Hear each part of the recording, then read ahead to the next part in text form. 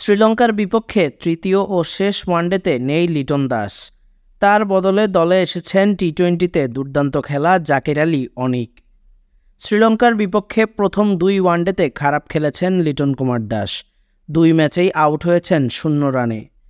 প্রধান নির্বাচক গাজী আশরাফ লিপু জানান, লিটন নতুন বলে ধারাবাহিকতা বজায় রেখে খেলতে না পারায় তাকে তৃতীয় ও শেষ ওয়ানডেতে রাখা হয়নি।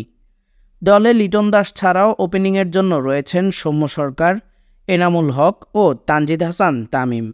তাই লিটনকে বাদ দিয়ে নতুন কোনো ওপেনারকে নেননি নির্বাচক প্যানেল। প্রধান নির্বাচক বলেন, মূলত বেশ কিছুদিন ধরেই সাদা বলে লিটন দাসের পারফরমেন্সে ধারাবাহিকতা কম দেখা যাচ্ছে। তাই আমরা তাকে শেষ ওয়ানডেতে দলে রাখিনি।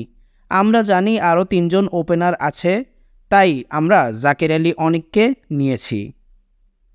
সকল আপডেট পেতে আমাদের চ্যানেলটি সাবস্ক্রাইব করে আমাদের সাথেই থাকুন।